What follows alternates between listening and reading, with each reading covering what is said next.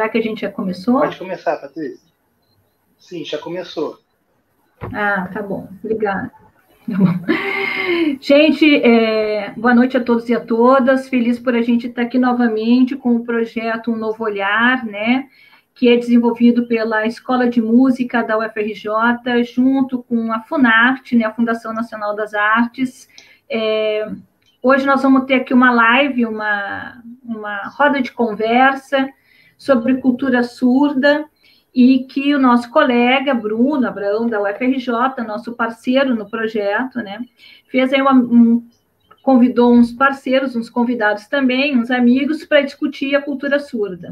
Então, a gente deseja aí uma boa, uma boa conversa, pedimos desculpas aqui pelo nosso atraso, porque a gente teve alguns problemas técnicos, então, queria agradecer ao Bruno, ao Cláudio Mourão, da URGS, né, que também já esteve com a gente lá no ENAC, em Porto Alegre, parceiro do Eduardo Cardoso, a Roberta Saavedra e o Wesley Rocha, que vão estar aqui conversando com a gente e trocando aí, e nos é, ensinando também a compreender melhor o que é a cultura surda e essa questão da, da comunidade surda e tudo que envolve a cultura surda.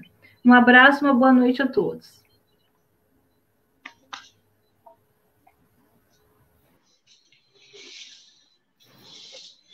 Olá, boa noite a todos. Estou muito feliz de estar participando dessa live, cuja temática é de extrema importância. A gente vai estar abordando sobre a cultura surda e agora eu quero estar é, agradecendo aí a Patrícia, a Lanusa, as duas pessoas que estão responsáveis na, na organização deste evento. É, eu convidei também a professora Daniele, Daniele Mendes, ela é professora de literatura pela UFRJ, e eu vou me apresentar aqui, eu sou o Bruno Abraão, é, esse é meu sinal, língua de sinais, e Daniele e eu, a gente trabalha em conjunto no Departamento de Letras Libras, e eu, daqui a pouco ela vai estar junto conosco aí para estar apresentando é, a live é sobre cultura surda. Por favor, Daniele, pra, venha para compor a mesa, compor a, a, plata, a, a plataforma.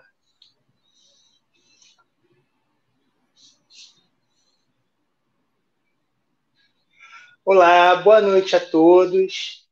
É, eu quero agradecer primeiramente ao Bruno por esse, por esse convite. E eu vejo que é muito importante a gente estar é, debatendo sobre esse tema, né, essa temática de extrema importância, que é a cultura surda. E eu quero agradecer a cada um de vocês né, por, por essa oportunidade.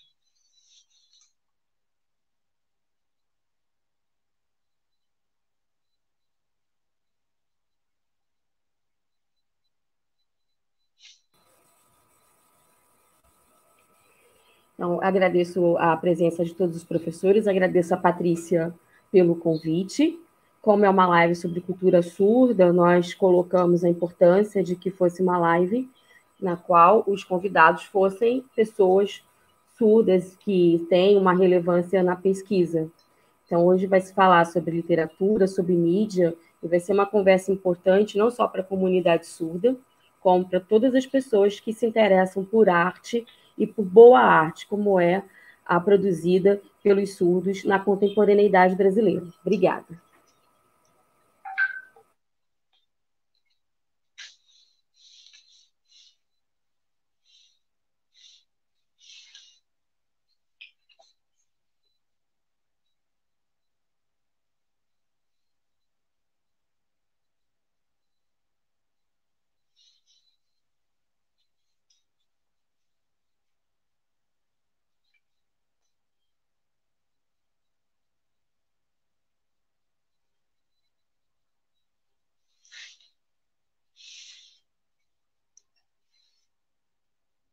Cláudio está perguntando se é, se é ele que, que, inicia. Eu não sei. Não era o Bruno que iria retornar para a mesa?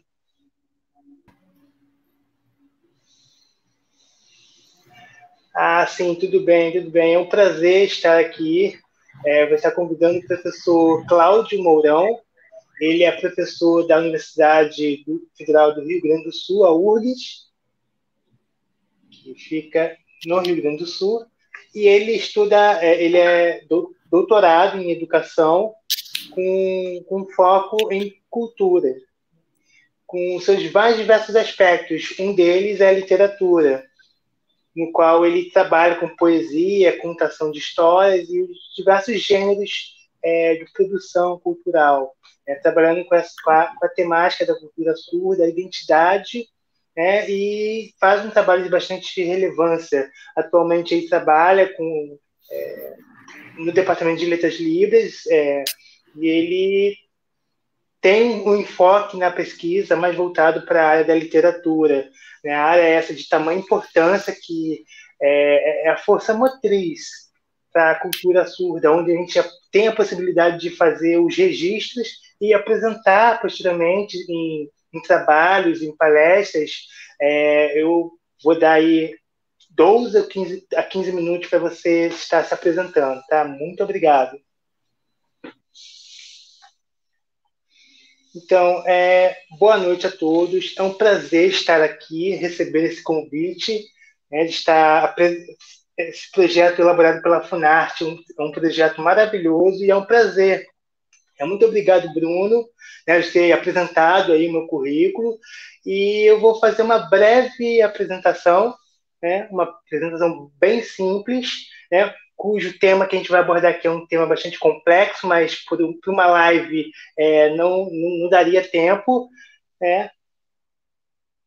Primeiramente, é, todos nós sabemos que a Libras ela é, não é uma língua universal, ela, te, ela, tem a sua característica, né? A Libras ela é uma língua e a, a, a Libras não é uma linguagem e nem é universal.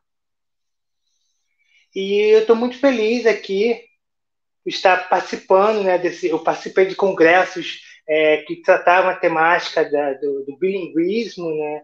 E tiveram é, uma boa quantidade de surdos que é, tiveram várias línguas de sinais, né? não só a Libras, mas a, a língua de sinais de diversos lugares do mundo, inclusive é, sinais internacionais. É, a, a, língua de sinais americana também se fez presente nesse congresso. E a gente só está é, começando é, nessas pesquisas. E é isso. Eu agradeço imensamente ao intérprete. E se porventura o intérprete não entender alguma coisa, pode sinalizar. Ok? É isso aí. Muito obrigado. Então, a Libras é oriunda de, de, de um povo é oriunda de povos é, em, que constrói a sua própria cultura, a sua própria identidade, mas a literatura surda, por exemplo, ela também precisa ser é, trabalhada, porque a Libras ela é uma língua, logo a gente precisa ter uma, produções literárias é, referentes a esse povo, a essa comunidade, a essa cultura, e a literatura está sempre intrínseca a essas questões. É, e há muito tempo atrás é, não havia registros dessa, das literaturas, porque é, as histórias, os costumes eram passados por meio da oralidade, era uma espécie de oralitura. Então, é, nós sabemos que é, isso faz parte das tradições de povos, é, por exemplo, povos africanos, enfim, é, povos bastante antigos, que na época não tinham um, um bom recurso para é, fazer esses registros literários. E com o tempo, é, a, dependendo de cada geração, iniciou-se aí o processo de, de registro. Né? E no tocante da comunidade surda, por meio da tecnologia é, de, de vídeos, permitiu a gente gravar as nossas produções literárias. E agora eu vou passar um slide aqui para vocês poderem acompanhar.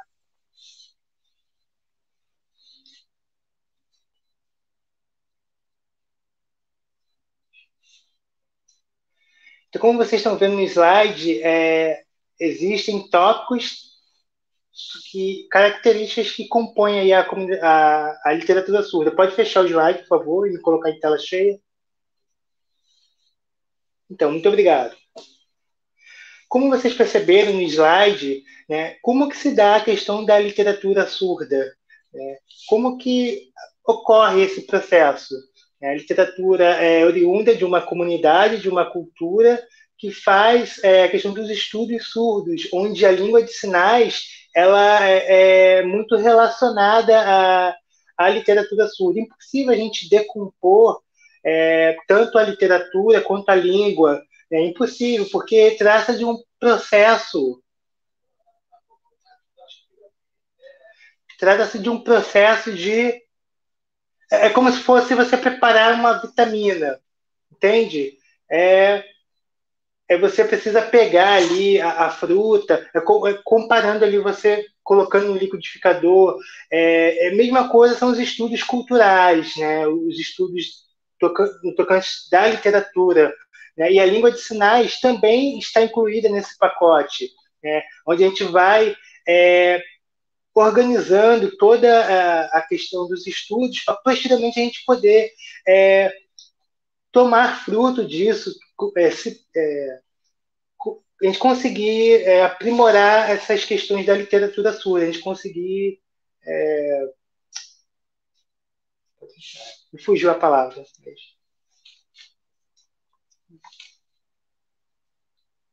Então, todo esse processo de internalização da literatura surda, isso é um processo de uma construção. Né? Isso é uma, a construção da literatura surda. Né? Existe uma expressão chamada tipo, literatura surda é o é a minha, a minha vida. A literatura surda é, é, o, é o meu ar que eu respiro, é o ar que eu respiro, essa expressão. É. Então, essa expressão está carregada é, metaforicamente, é que se não houver literatura surda, logo é, as histórias da, dessa comunidade se extinguem.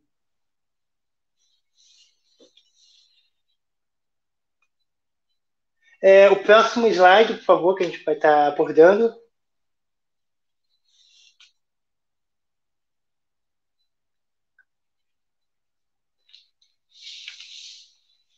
Pode fechar, por favor.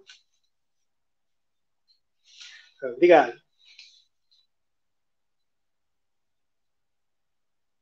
O autor desse, dessa citação que eu mencionei, ele fala acerca das experiências que os antepassados passaram para os seus, é, seus antepassados, foram passando o conhecimento de geração em geração, mas isso não é um, por exemplo, é uma simples experiência por meio de informação, não. É uma experiência é, não foi dada a partir de um evento, de uma palestra ou de é, conhecimento adquirido por meio de jornais, não. O autor ele fala da experiência acerca é, de um processo longo, um processo demorado, onde ele precisa observar e adquirir todas é, essas nuances da literatura para que eles possam é, se sentir tocados pela essa experiência. Né? Mesma coisa ocorre com a comunidade surda, né? que isso foi todo um processo é, até os dias atuais, foi uma, um constante processo para a gente construir a questão da literatura surda. Esse processo de experiência é, literária é, houve aí uma necessidade de registro, né, semelhante a, aos ouvintes que têm essa facilidade de registrar as suas, é, as suas questões na literatura são é, estudos bastante ricos, né? são enciclopédias, é, contos, histórias que marcaram toda uma geração ouvinte. Mas e a produção da comunidade surda? Como que se dá o registro, por exemplo? É, pode passar o próximo slide, por favor?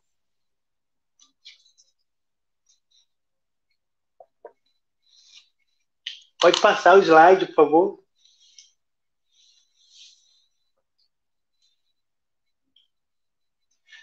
Ok, pode fechar. Como vocês viram aí, é, isso faz parte do meu projeto, a arte de sinalizar, o sinal é esse. É a arte de sinalizar. É, o sinal é esse aqui. É um projeto que eu desenvolvi na URGS, cujo objetivo é estimular é, encontros da comunidade surda para que eles possam produzir diversas maneiras, diversas formas literárias, a fim que possamos registrar é, o nosso trabalho, a nossa pesquisa é, literária. Por exemplo, é, como vocês vão ver um exemplo no próximo slide aí, por favor, coloquem na tela.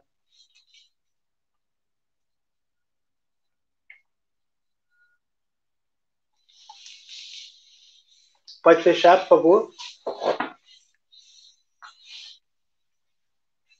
Então, vocês perceberam é, no slide as, as inúmeras edições que, de eventos que a gente vem produzindo, como saraus, né, é, pontos de cultura com o objetivo é, para a gente estar é, tá trocando experiências nessa área literária em diversos lugares do Brasil, como Santa Catarina, Florianópolis, em diversos lugares do, do sul do país. É, e próximo slide, por favor, que eu vou pedir para vocês é, subam aí no próximo slide. Pode fechar, por favor.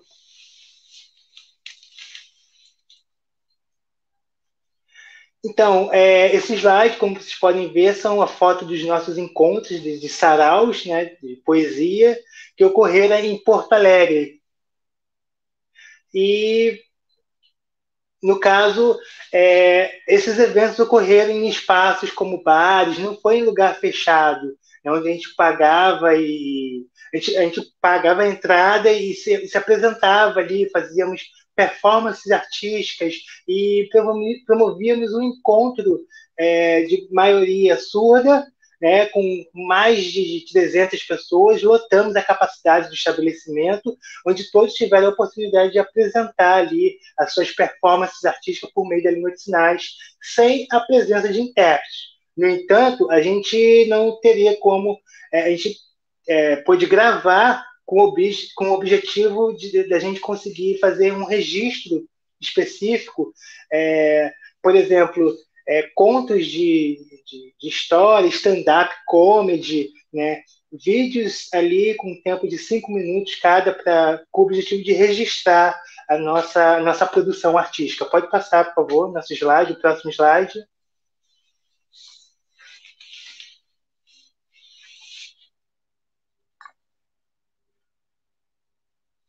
Então.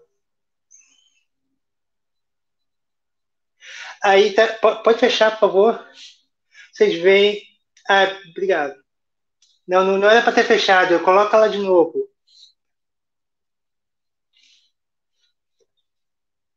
Ah, isso. Vocês podem subir um pouco a tela? É, sub, vocês podem subir um pouco o slide? Isso, isso mesmo. Correto, correto. Isso, isso mesmo. Como vocês podem ver, aí está o nosso endereço eletrônico do, do canal no YouTube, onde a gente tem a nossa produção, temos... Pode fechar, por favor. Pode fechar o slide. Então, é, a gente tem aí é, cerca de três artistas que são de Porto Alegre, né?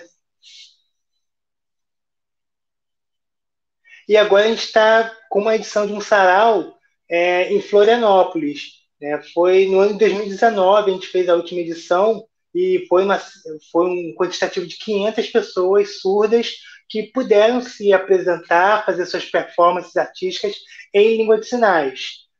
Agora a gente conseguiu reunir essas performances, é, mais ou menos 1.720 é, produções audiovisuais e disponibilizamos isso no canal no YouTube. O canal chama-se Arte de Sinalizar, que contribui muito, de maneira muito rica, para a cultura surda, a gente precisa estar sempre chamando também pessoas ouvintes que têm interesse em participar é, nessa da literatura surda. Então espero aí que vocês a minha apresentação foi foi bem breve, mas eu agradeço aí aos intérpretes e agradeço a oportunidade de estar apresentando é, a, a no caso, a minha temática, a minha pesquisa.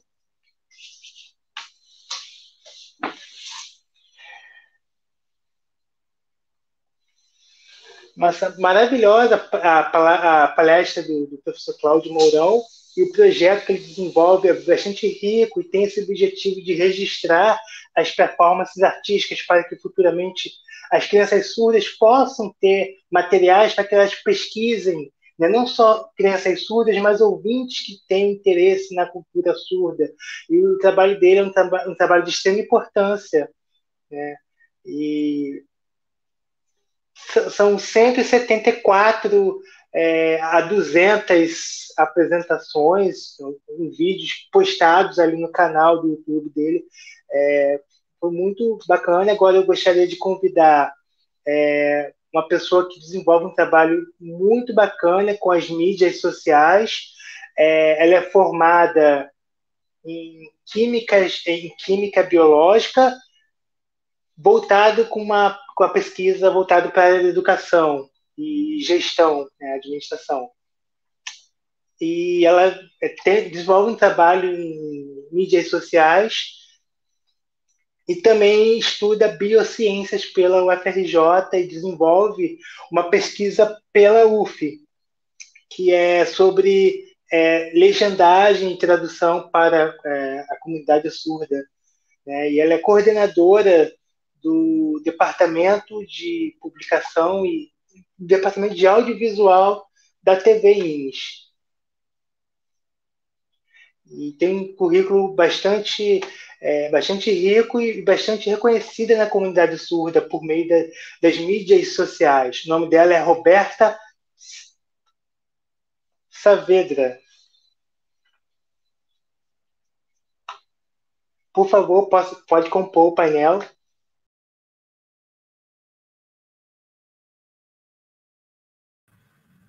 Seja bem-vinda, Roberta. Primeiramente, gostaria de agradecer o convite. E principalmente nesse período que estamos passando da pandemia. Estamos tendo uma oportunidade muito grande de usar esses artefatos da tecnologia para conversar sobre diversos temas. Eu gostaria de começar fazendo uma um resumo sobre a minha formação. E depois falarei sobre a minha experiência profissional na educação e também na Web TV,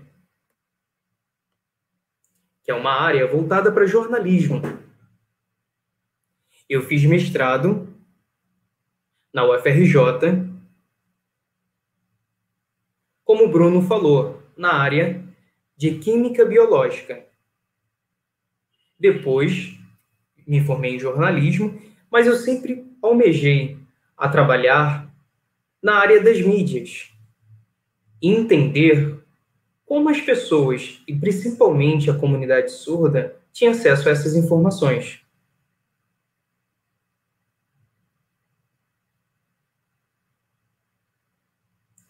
E também tive um convite da professora Vivian para participar de um projeto dentro da UFRJ que havia um projeto, uma pesquisa que tinha enfoque à comunidade surda que havia dentro desse laboratório. E o objetivo era criar um glossário com palavras da área da ciência e a Vivian me pediu para que eu fizesse uma pesquisa para saber se os alunos do curso eles conseguiam entender e internalizar aquele conteúdo e também ter acesso ao português na sua modalidade escrita. E eu percebi que muitos surdos tinham dificuldade na leitura, não identificavam os conceitos, não entendiam esses conceitos e também não conseguia passar isso para sua língua, sua língua natural. Então, eu comecei a me planejar e comecei a pesquisar em como a gente pudesse, em como poderíamos trabalhar é, esses conceitos com os alunos surdos. E também para que eles pudessem ter esse conhecimento informal. Também percebi a necessidade de criar metodologias e estratégias na área das mídias, para que eles pudessem ter esse ter esse assunto de uma forma mais clara. Então, esse projeto de pesquisa, tivemos a oportunidade de criar uma plataforma no Facebook que se chamava Surdo News. E era esse sinal. E falávamos sobre diversos assuntos, tudo em língua de sinais.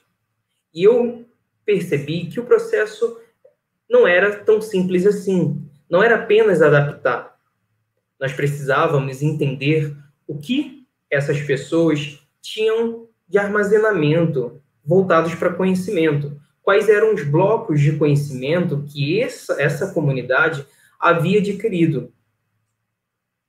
Então, por exemplo, se três, se, se as pessoas não tiverem é, acesso a essas informações, eles não vão conseguir entender o conteúdo. Então, principalmente a comunidade surda, eles precisam ter esses três, essas três categorias. Seriam intérprete, um roteirista especializado e apresentadores que pudessem sinalizar e adaptar esse conteúdo. E também comecei a pensar sobre a cultura, como nós poderíamos trabalhar em cima da identidade surda para que essas pessoas fossem bilíngues e que elas pudessem ter acesso às duas modalidades e ter também é, todo, todo o conhecimento e a compreensão desses assuntos. E o objetivo principal era formar esses surdos para que eles pudessem atuar na área jornalística. Então começar, começamos a pensar e criar novas estratégias para conseguir adaptar esse conteúdo. Então, por exemplo, quando um conceito não tinha sinal, adaptávamos, usávamos empréstimo linguístico, usávamos classificadores, entre outros recursos da língua. Caso se deparávamos com uma metáfora, precisávamos de novo passar por todo o processo de, adap de adaptação e me reflete muito é, no período que estamos vivendo. Nós temos dentro da TV Inis uma equipe de apresentadores, intérpretes, roteiristas e diretor, diretores que trabalham em todo o processo. Então, por exemplo, a TV Inis, ela continua informando, ela continua informando tudo o que acontece no Brasil e no mundo. Ela, a gente fala sobre o coronavírus, a gente fala sobre assuntos que acontecem todos os dias, como se prevenir, como se cuidar, como lavar as mãos, todos esses assuntos relevantes para relevantes essas pessoas, nós tratamos através da TV Ines. Então, se vocês quiserem conhecer, vocês podem entrar. Nós temos Facebook, YouTube e no Instagram e no Twitter. Estamos em todas as plataformas digitais. E é muito importante sobre o que o Cacau ele explicou sobre a cultura, a identidade surda. Isso é de suma importância, porque como é, informar pessoas que participam de uma comunidade, que participam de uma cultura, sem levar em consideração. Isso é impossível, é algo que não podemos desvincular. Como poder trabalhar dentro de um processo tendo a sua cultura, a sua identidade e principalmente valorizando a sua língua. Agora, nesse período de pandemia, de isolamento social, estamos tendo um grande desafio, que é trabalhar home office, trabalhar de forma remota. Então, ter que adaptar isso tudo está sendo um grande desafio. Então, por exemplo, o roteiro, a gente está usando a tecnologia né? Porque a gente não trabalha mais pessoalmente todos os dias ali. Então a gente teve que se adaptar, pensar em novas estratégias, como usar a internet, mesmo sabendo que a internet pode cair ou outros problemas podem acontecer. Então, a todo momento estamos é, se renovando, tendo novas ideias, sendo criativos, e isso é muito importante para a comunidade surda que eles tenham sempre esse acesso. Agora, em 2020, tivemos 200 mil visualizações. E sempre falamos sobre é, essas informações, sempre falando sobre coronavírus, sobre novas doenças, falando sobre problemas no Brasil e no mundo que os surdos têm interesse. E eles podem pegar esse tema e pesquisar, eles têm o contato com o que está acontecendo no mundo, e isso é muito importante. E agora, eu gostaria de retratar sobre mídia inclusiva, ou mídia bilíngue. Algumas pessoas ainda não entendem e não conseguem separar. Então, por exemplo, a mídia bilíngue é quando todos os processos são trabalhados através das duas línguas. Porque nós não podemos fazer um programa e depois colocar a língua de sinais. Não. Na TV INES, todo o processo é usado a língua de sinais como língua oficial e a língua principal que norteia todo esse processo.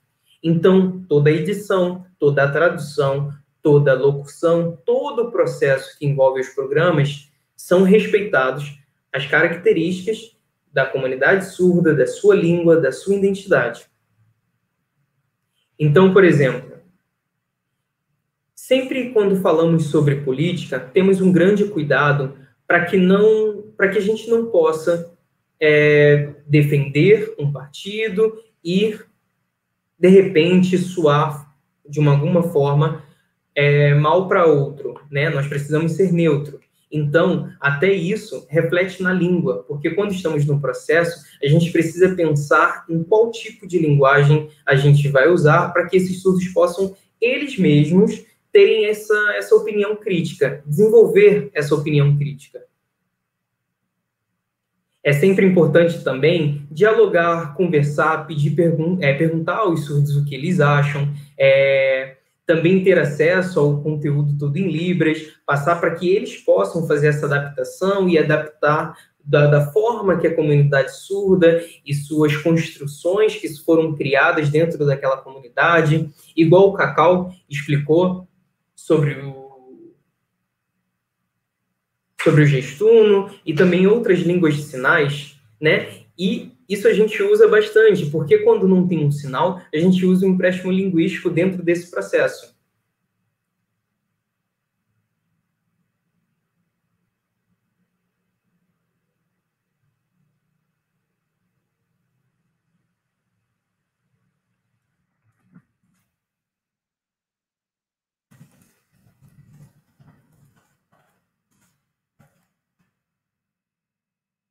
É, eu gostaria de fazer uma pergunta. O debate vai ser agora? Tem alguma pergunta ou vamos deixar para o final?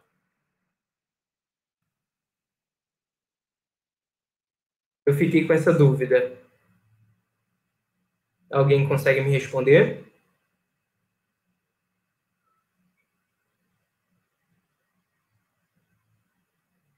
Só no final, correto?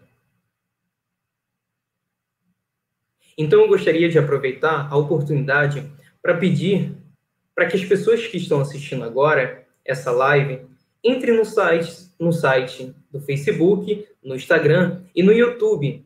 Porque caso tenha alguma dúvida, algum comentário, eu quero saber hoje e aproveito para conversar com vocês, tá bom? Muito obrigada.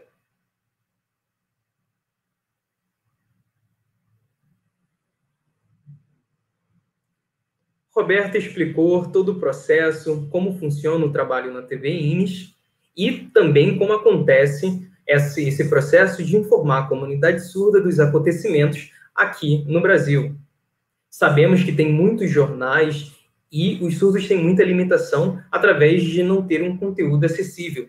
E a TV INES trabalha para que esses conteúdos sejam acessíveis para a comunidade surda. Façam o que a Roberta falou, entre no site, comente, pode perguntar, se vocês tiverem dúvida, entre no Instagram e vocês podem ver, né? E aproveitar essa live para tirar essas dúvidas com ela. Aproveita esse tempo agora para que a gente possa debater esses assuntos e tirar todas as curiosidades.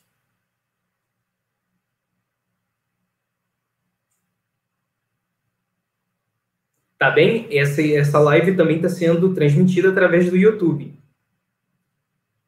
gostaria de convidar um surdo, homem Ele é negro e participa de diversos movimentos e movimentos e lutas contra o racismo.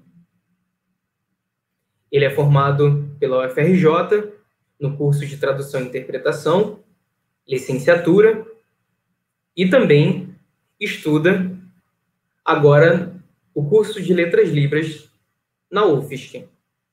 Ele participa de grupos de movimentos negros e tem como enfoque a arte, poema, literatura, visual vernacular e faz esses poemas para outros surdos negros, falando sobre sua cultura. Desculpa, biocultural. Sobre essas duas culturas. Gostaria de convidar o Wesley.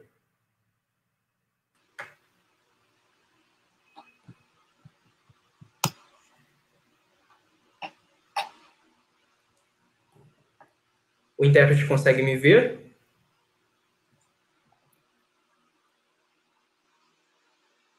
Prefiro quando eu estou vendo o intérprete, né? Mas não tem problema.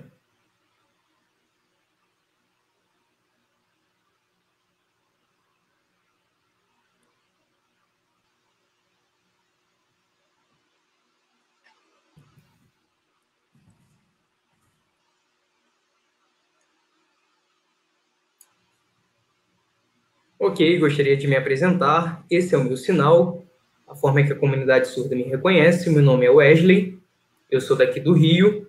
O Bruno explicou sobre a minha formação, né? E tá tudo certo. E gostaria de apresentar para vocês, né, esse tema aqui. Alguém pode colocar os slides?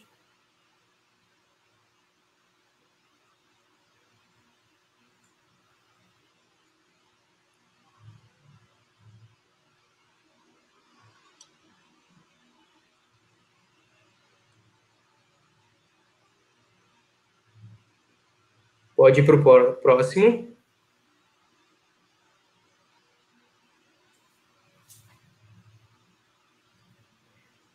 Primeiramente, eu gostaria de agradecer pelo convite e também a toda a equipe e a produção que está por trás de toda essa live. Por favor, você pode colocar novamente o slide?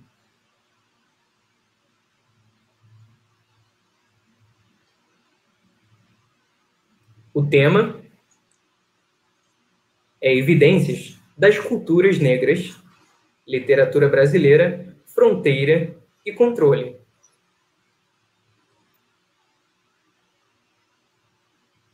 Próximo slide.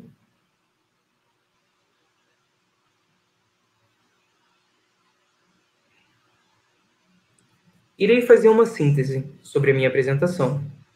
Literatura, fronteira e preconceito. Temos diversos temas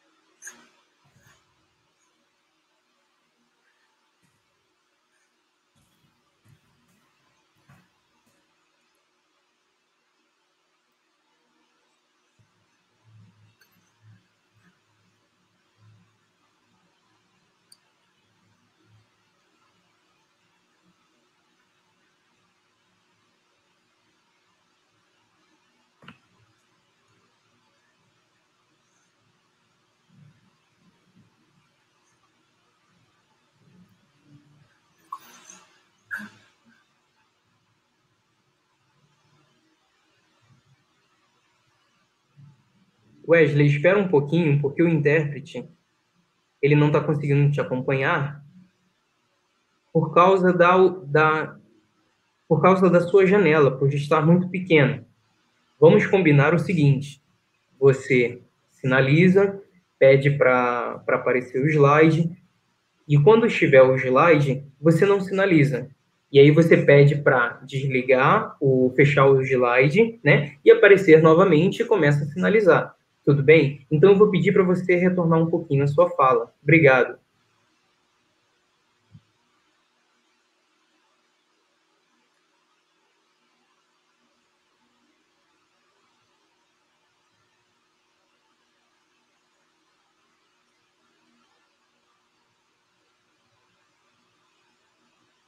Pode fechar.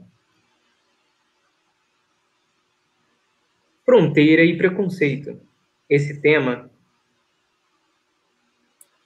Existe um conceito de ovitismo, esse conceito é bastante antigo, que qualquer pessoa de qualquer raça, de qualquer etnia,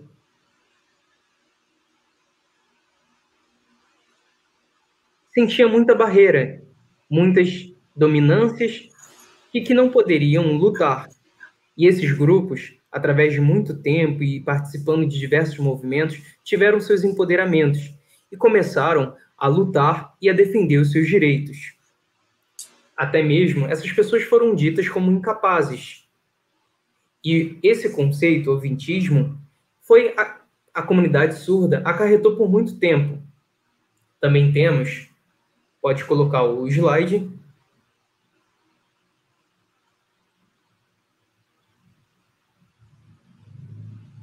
Só volta um slide. Tem um slide que está escrito clínica.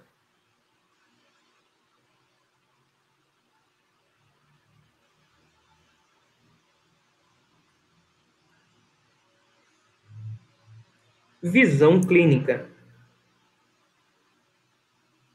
Pode fechar o slide.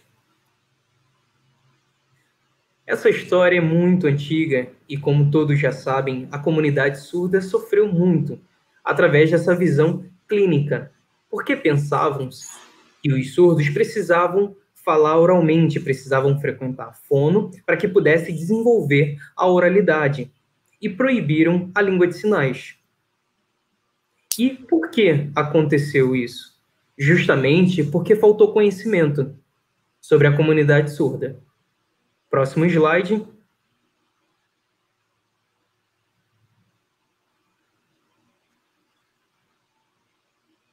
Podem ler.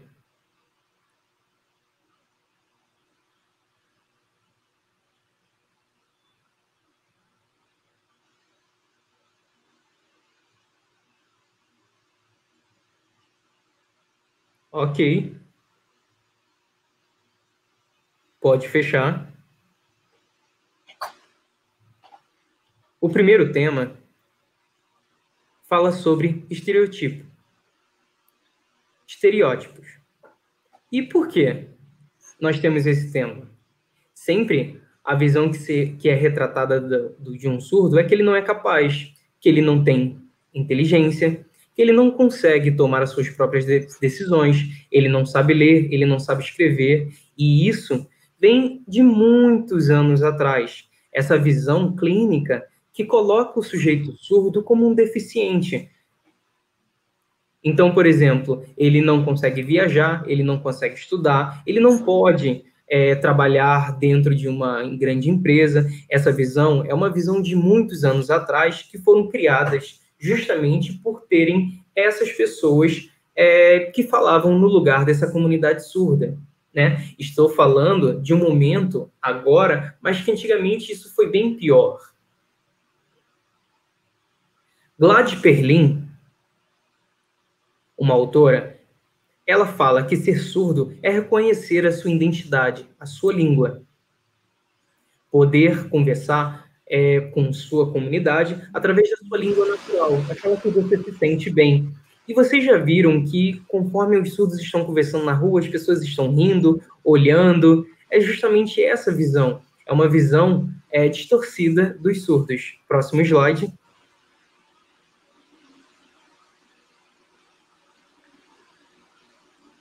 Etnocentrismo. Eu vou explicar, pode fechar o slide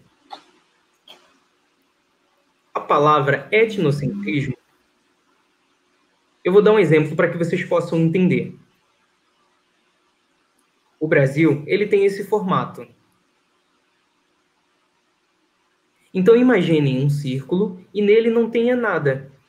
E aí encontra um único objeto na cor vermelha, uma, uma cor preta, um amarelo e o vermelho, ele consegue se expandir. O preto também. o branco também. Essas cores começam a participar de um grupo. E aí eu fico imaginando, o Brasil ou foi o primeiro povo que estava presente aqui? Os índios, correto? As tribos indígenas. Eles começaram a se expandir, começaram em diversas regiões do Brasil e diversas culturas indígenas. Depois viram os portugueses chegaram e encontraram uma outra uma outra cultura, uma outra forma de viver e começaram a discordar. E os índios com medo começaram a fugir e cada vez mais os portugueses começaram a dominar toda a terra. Depois houve a escravidão. Os índios começaram também a crescer cada vez mais essa comunidade, os portugueses também, os escravos também, sendo que a cultura do, do, de outros povos começaram a dominar, e com isso, os índios começaram a perder a sua cultura e também foram desvalorizadas, né? E aí eu te pergunto, a comunidade surda é igual à comunidade ouvinte? Não. A cultura, a comunidade surda tem a sua cultura, a sua língua. Então, participando de diversos grupos, temos grupos de cadeirantes, surdos, cegos. Então, fazendo uma analogia com o Brasil, é isso. São diversos grupos que participam e sempre vivem em contato. Próximo slide.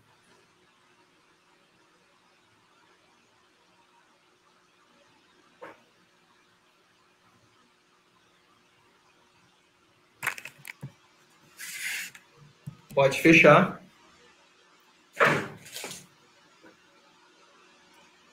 Esse título, literatura, o que significa?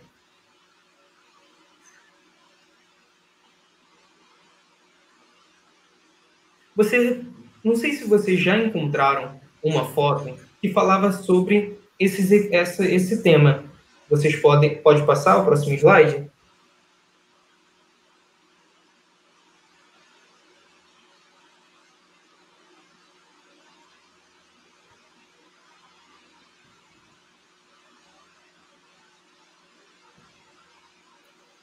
Próximo slide.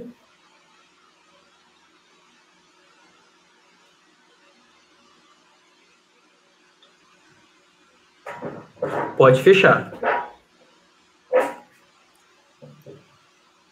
Esse tema, literatura sobre literatura negra,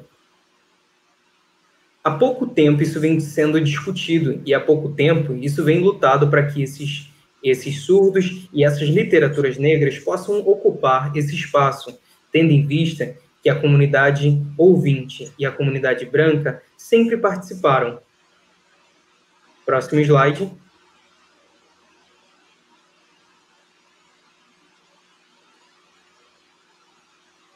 Retorna um slide para mim.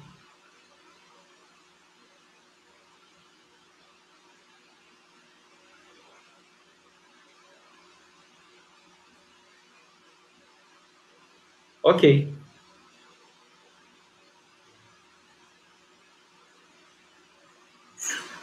Literatura negra e a sua luta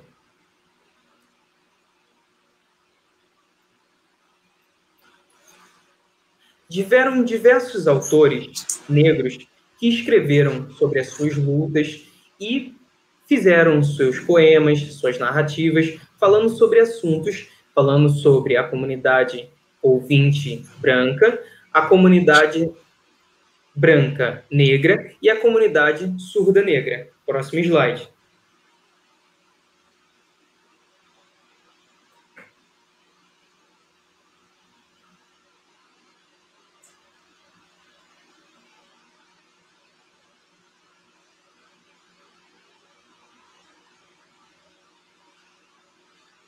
Ok. A autora Bell, que escreveu em 2003, ela começou a pegar dados e entrevistar diversos artistas que faziam poesias. E na pesquisa dela, pode retornar o mesmo slide.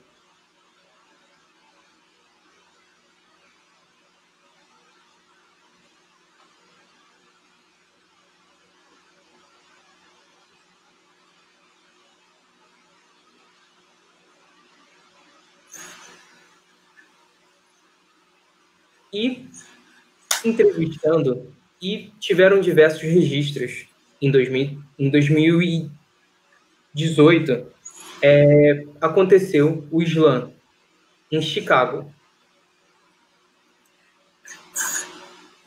Depois desse acontecimento, começou a expandir esse tema e o slam foi tomando conta de todas as regiões. E até hoje, ele é usado pela comunidade surda como forma de se expressar e de protesto. Próximo slide.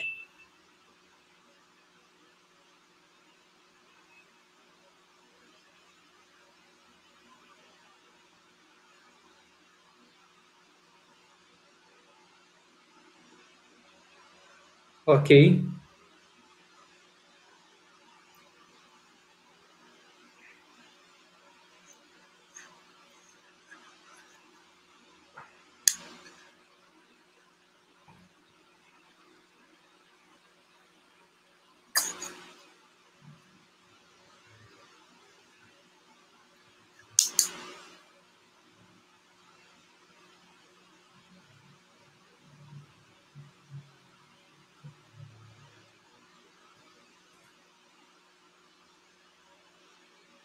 Pode abrir o próximo slide.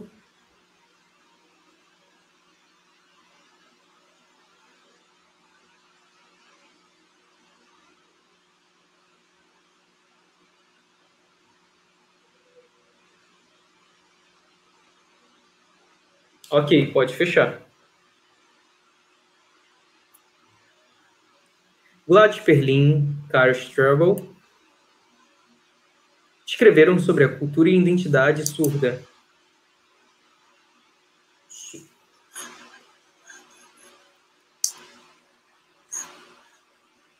Escreveram sobre a cultura e os artefatos da identidade surda, né? E isso tudo através da língua de sinais.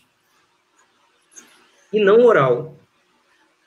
Foi feito através da língua de sinais elas trabalham na área da linguística, trabalham também como, com, a, com a gramática. Próximo slide.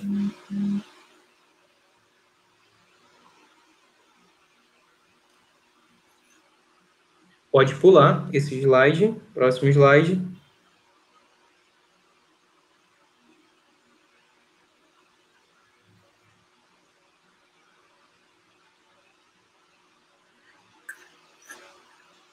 Lembra que eu falei sobre essas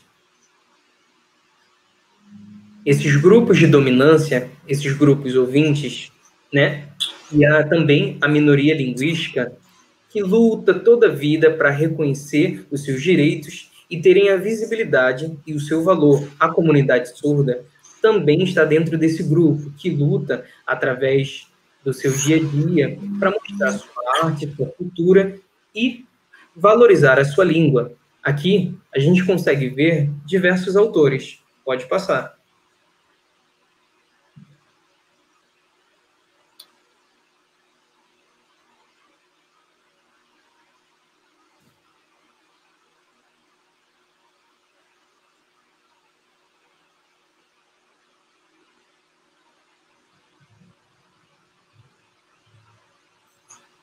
Pode voltar? Novamente, e aí você vai passando os slides. Próximo slide.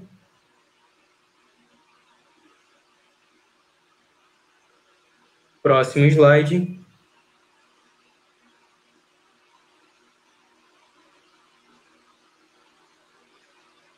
Ok, pode fechar. Esses autores, poetas, apresentadores de slam. Eles participam de, diversos eventos já vieram aqui no Brasil diversas vezes. Encontro de surdos aqui no Rio. Em 2015 aconteceu um evento e eu fiz um convite para que eles pudessem participar, apresentando danças, slam, poemas. Tiveram a Vavá, Aron, apresentaram poesias, slam, e são dos Estados Unidos. Próximo slide.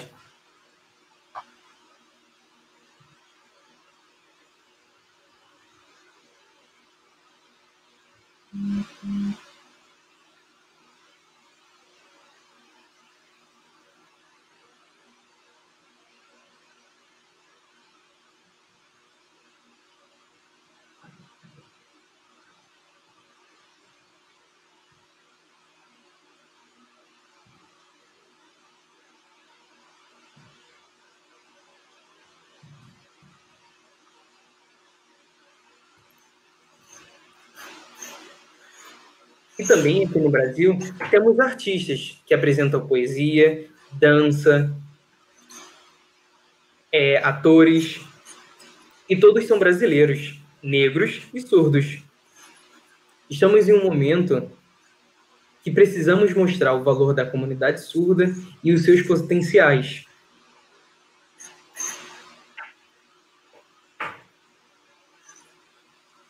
A Gabriela é uma artista que apresenta muito slam e também visual vernacular. Eu também faço algumas apresentações do visual vernacular.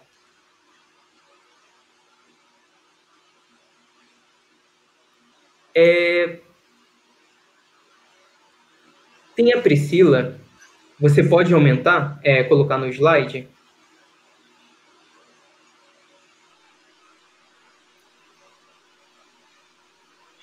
No, no slide de cima, por favor, no slide anterior.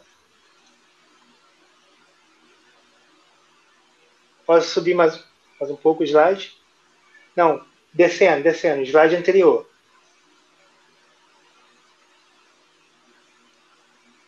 Pode subir. Isso. Clica na imagem da Priscila para deixar a imagem em evidência. É, tem a foto, logo embaixo tem um link. Você clica nesse link, por favor.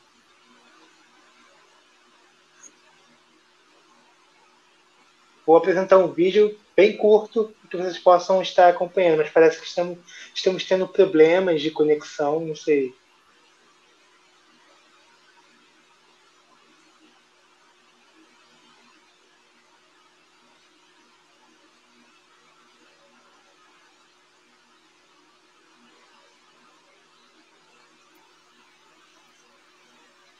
Bruno, é, a gente tem. Eu estou com quanto tempo para apresentar?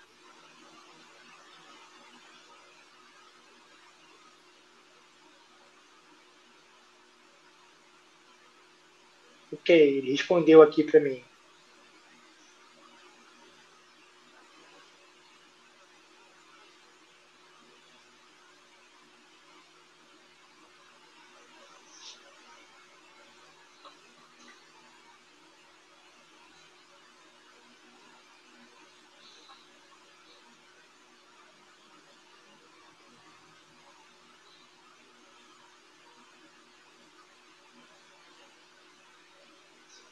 Tudo bem? É, acho que não vai. Acho que na outra oportunidade eu, vou deixar o, o link do, do vídeo no, no chat, né, para vocês terem acesso posteriormente. Vamos é, voltar. Posso é, encerrar aqui minha apresentação? Posso continuar?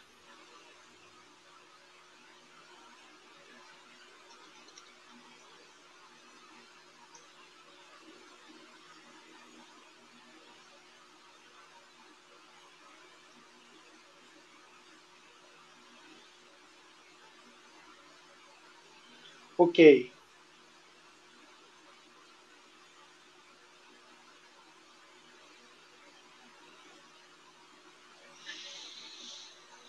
Então, vou continuando aí minha, o que eu estava falando sobre essa temática que a gente estava é, abordando aqui sobre os atores e os, os poetas de Islã, é, que eles, eles apresentam essa, essa temática negra, ouvinte, é, que marca as questões da é, as marcas da, da escravidão né, e a gente tem um, um certo modelo né, para a gente como referência para a gente estar tá fazendo as nossas é, apresentações. E a e a Priscila Leonor ela tem uma boneca onde ela tem onde ela faz essas apresentações elas faz essa, ela tem essa narrativa voltada para a comunidade negra, isso tudo voltado com um modelo é, de uma comunidade ouvinte, né, onde ela tem um certo contato, uma relação de, de, de poder né, muito grande, né, e onde o ouvinte ele precisa estar equiparado também à, à é, nossa cultura, a cultura surda. Essa, essa que é o, o, o, o, o lance da minha palestra, né, o que eu quero é, abordar. Além do mais, eu quero agradecer aqui a minha, minha apresentação.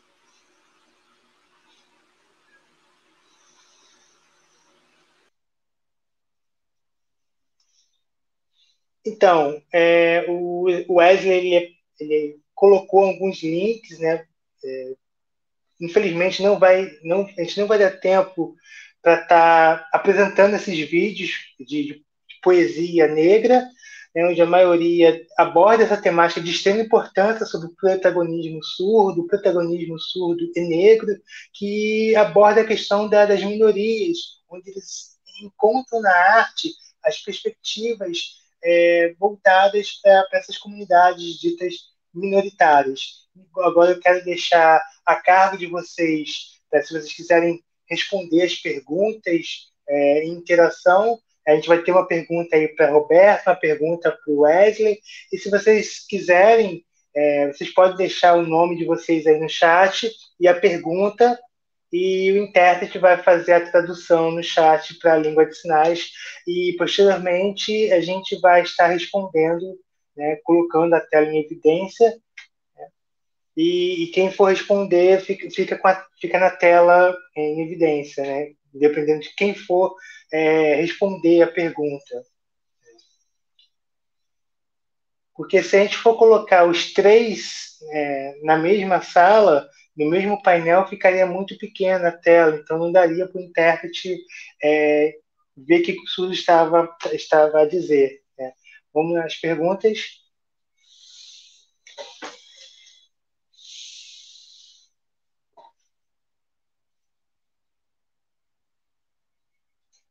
Nenhuma pergunta, nenhuma pergunta a respeito do meu trabalho, acerca do que, do que eu desenvolvo sobre o projeto bilíngue, o projeto que desenvolvo na TVINES, alguma sugestão também?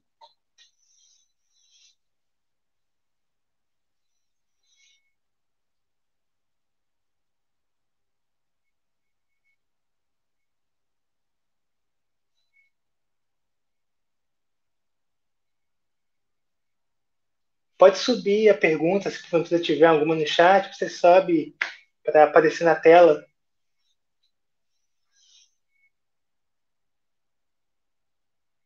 Parece que a pergunta aparece no, YouTube, no chat do YouTube, mas a gente não está tendo acesso.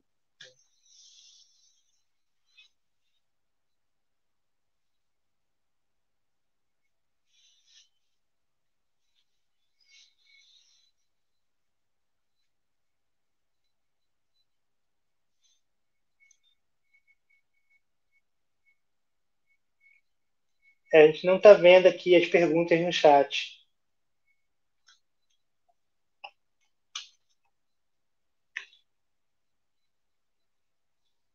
Ah, sim, nenhuma, nenhuma pergunta, só mesmo comentários e opiniões.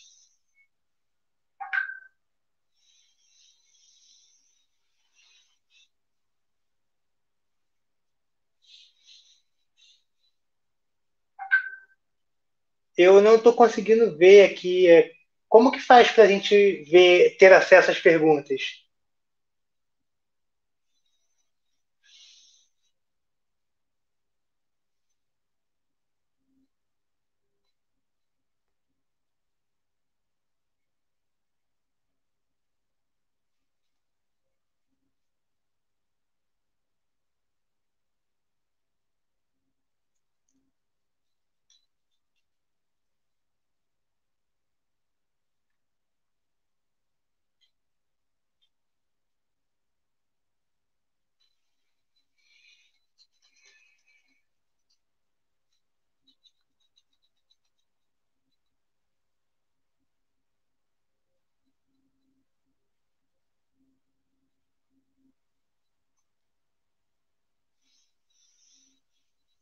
É, eu estou ainda procurando aqui como eu faço para ter acesso às perguntas no chat, mas eu não estou conseguindo né, ler nenhuma pergunta.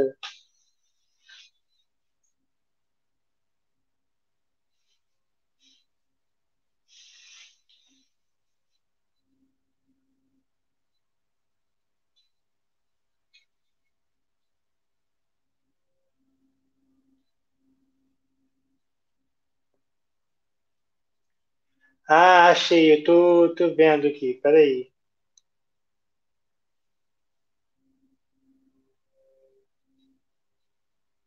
gostaria que você falasse sobre a, o impacto dessas novas tecnologias na comunicação de surdos.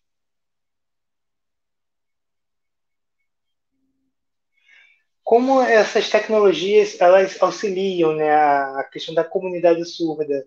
É, primeiramente, tudo iniciou voltado para a questão de projetos e a tecnologia ela é um recurso de extrema importância é, de experiência e de vida né, na, dentro da dentro da, da, da, comunidade surda. Isso foi um processo né, para os surdos, por exemplo. Os recursos tecnológicos, por exemplo, as mídias sociais, é, por exemplo, os aplicativos é, que auxiliam a gente a ter acesso às informações fica, é, fica eles, esses aplicativos eles ficam responsáveis de ter esse, todo esse conteúdo é, acessível, né, tanto em Libras quanto em português, né, conteúdos esses considerados como bilíngues. É, e essa ideia partiu dessa, é, desse projeto né, que a gente tem de, de, tanto de colocar legendas quanto colocar língua de sinais. Né? e colocar esses dois recursos de tecnológicos de maneira simultânea para que o, os surdos tenham acesso às informações. Né? Onde as mídias sociais, por exemplo, o Facebook, Instagram, é, são ferramentas de extrema importância e de muito valor, porque a gente percebe que dentro dessas, dessas redes sociais há uma grande possibilidade de comunicação. A gente consegue se comunicar, colocar, expressar as nossas opiniões, agradecimentos. E também é, gostaria e também para vocês também acompanharem a questão é, a TVINES, por exemplo, né? É, como eu apresentei para vocês, é, essas essas questões da tecnologia, do uso das imagens, é, não adianta apenas colocar legenda, mas é importante colocar é, libras também, porque é de extrema importância para que o surdo tenha acesso às informações.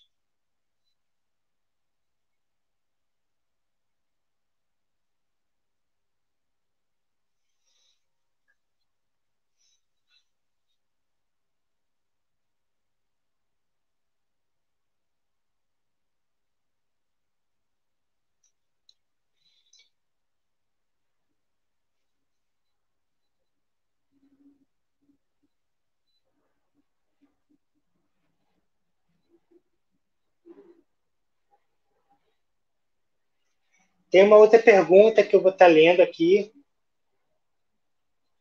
que é a respeito da, da especificidade das tecnologias é, que promovem a questão da acessibilidade. Né? E como que é essa experiência dentro da TVINS e também dentro da UFRJ. Como eu tinha dito, não adianta só colocarmos legenda ou janela de Libras. Eu acho que a gente focar mais em uma característica mais específica, por exemplo, a gente usar esses recursos e posteriormente, é, por meio da comunidade surda, a gente conseguir feedbacks para a gente conseguir é, adequar os recursos tecnológicos em favor da comunidade surda, por exemplo, é, a própria TV INES, né? É como se fosse é, 50% e 50%, metade, metade é, tipo, da cultura e identidade surda, que tem essa importância né, da gente utilizar tanto a língua de sinais por meio da, da nossa língua, da, onde a gente é, é, por meio da língua de sinais que a gente compreende o mundo e, e, e, e o recurso de tecnologia assistiva seria um recurso de apoio. Muito obrigado aí pela pergunta.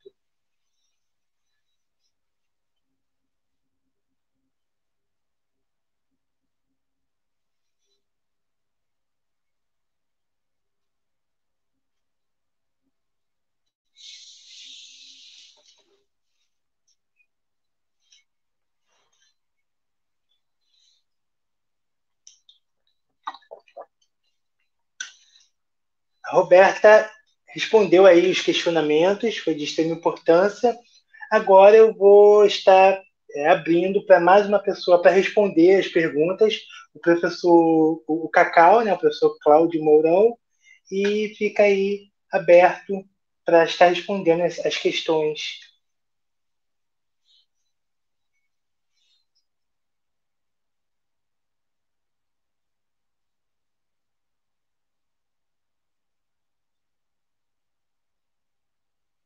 Então, estou esperando aí alguma pergunta.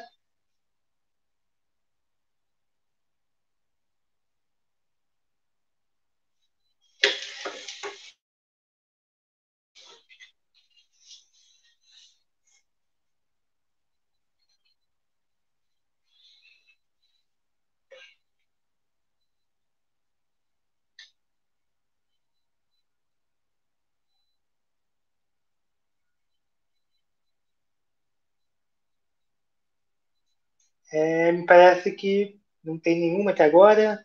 Vamos esperar.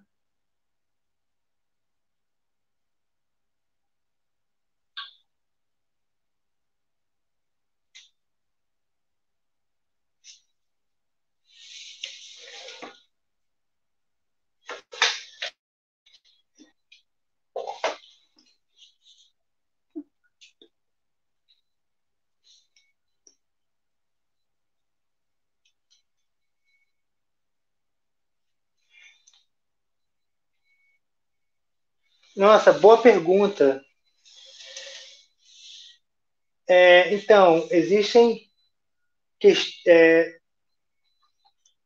existe tanto a comunidade ouvinte quanto a, aí a comunidade surda, a gente consegue produzir as mais variadas tipos, mais variados tipos de arte. Com exceção da comunidade surda, é, a gente tem essa barreira linguística. Né? Se a gente voltar voltar para a comunidade surda, a nossa produção de arte, né, tanto de gênero textual como poesia, ou você utilizar as mídias sociais, como por exemplo a TVINES, é, onde a gente consegue ter um, um acesso maior às informações por meio dessas tecnologias, se a gente for acessar o, o universo ouvinte só por meio do, do intérprete. Por exemplo, em São Paulo, existe o Itaú Cultural, né, que o sinal é esse aqui. No Itaú Cultural, todas as sessões de as performances artísticas são é, colocados intérpretes de Libras, né, onde os espetáculos, as performances, eles fazem um trabalho de bastante qualidade. E é ali que a gente recorre na nossa, é, a nossa maneira de se expressar no, no, nesse, no contexto da arte. Muito obrigado.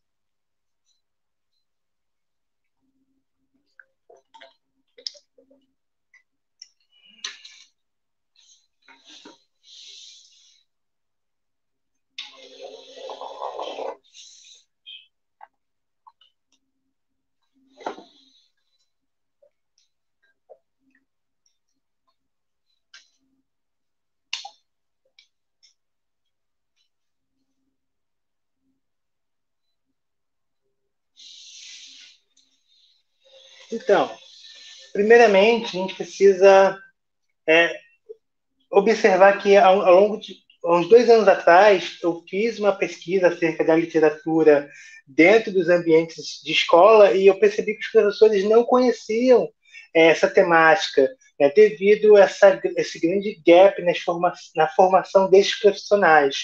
Por exemplo, na, nas escolas, é, existem as disciplinas como matemática, português, é, mas e, só tem uma disciplina de literatura, mas não tem nenhuma sobre literatura surda. É, e poderia é, estar incorporada à, à grade da disciplina de Libras, mas devido ao horário ser bastante, bastante apertado, quase não dá tempo para abordar esse assunto. Então, a maioria não conhece as produções literárias por parte da comunidade surda.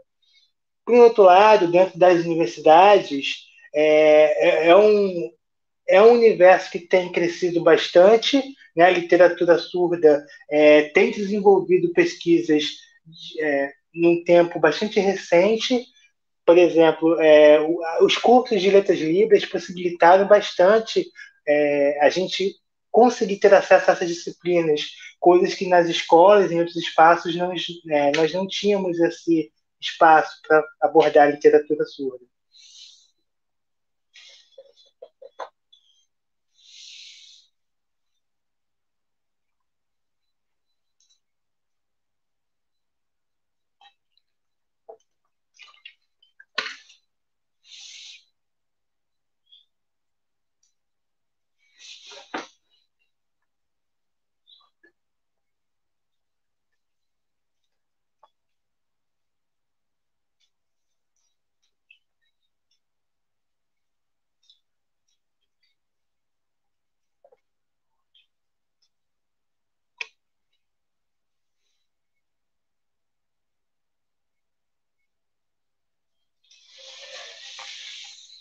Então, é, a gente sabe que o Brasil ele é bastante, ele é imenso, né? Por exemplo, a minha realidade é aqui no Rio Grande do Sul e eu conheço três escolas de, de surdos e que trabalham em diversas temáticas. Por exemplo, aqui em Porto Alegre existem quatro escolas de surdos, né? São essas quatro, mas mas outras que dariam sete ou oito escolas, é, a gente sabe que são poucas, mas é, dentro do município, dentro, do estado, né, é, dentro do município do, Grande, do, Rio Grande do Sul, mas no estado eu já não sei, é uma área bastante é, delimitada. Eu vou deixar para os outros convidados é, responderem se quiserem.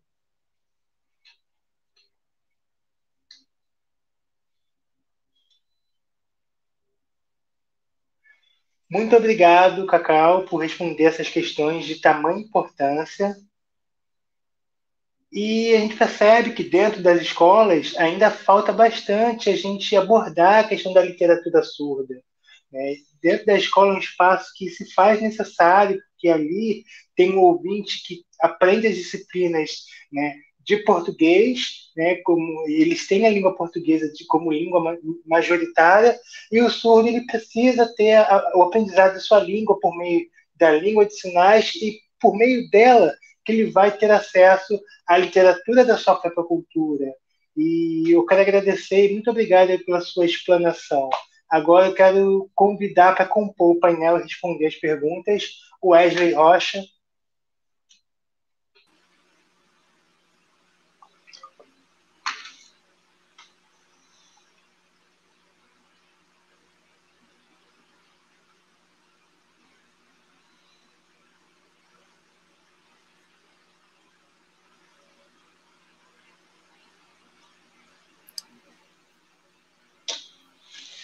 Responder a mesma pergunta?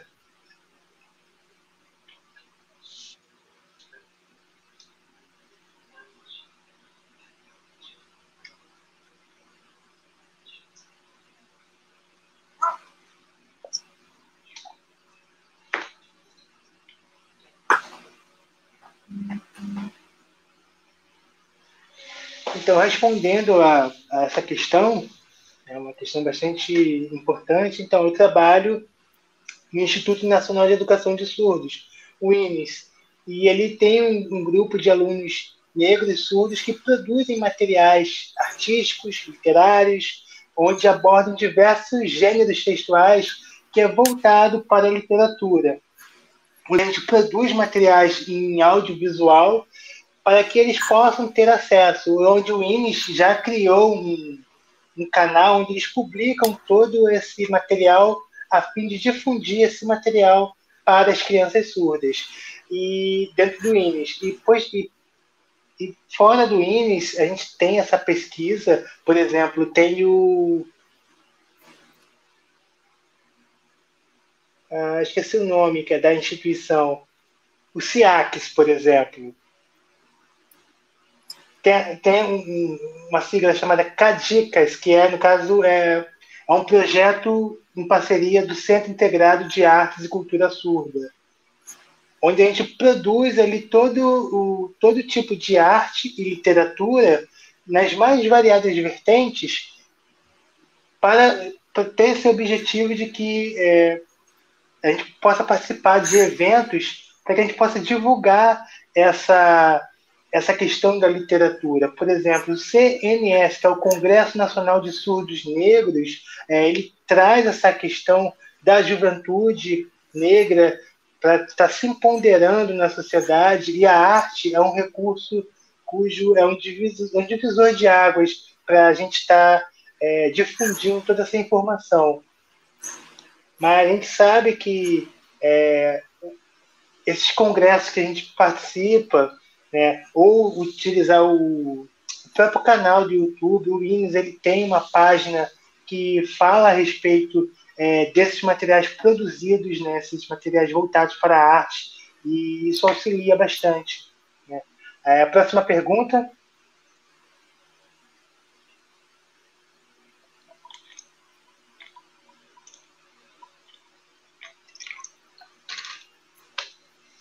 Então, é uma outra pergunta. Eu estou aguardando já responder. Já respondi a pergunta da Silva. É um prazer, muito obrigado pela pergunta.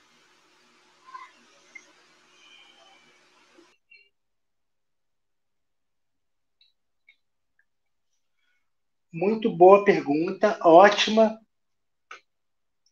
Só que o mais importante, né, que o, tanto que o Wesley, o Cacau e a Roberta falou, é, é que possamos continuar é, a, produzindo nosso trabalho sobre a cultura e identidade surda, cujo objetivo, como o Wesley é, mencionou, é, tem, tem essa finalidade de estar é, buscando esse, todo esse material é, voltado para a arte e publicando nas mídias sociais, nos sites, nos blogs, a fim de apresentar todo esse material. Igualmente, o projeto do Cacau, que é um projeto bastante abrangente, um trabalho de, de extrema importância, e a Roberta, cujo é, desenvolve um trabalho de, de extrema importância na TV Ines e utiliza as mídias sociais, as redes sociais, para estar é, divulgando as informações é, na sociedade, por exemplo, em tempos de pandemia, é, para que nós possamos é, estar acompanhando essa, é, as informações.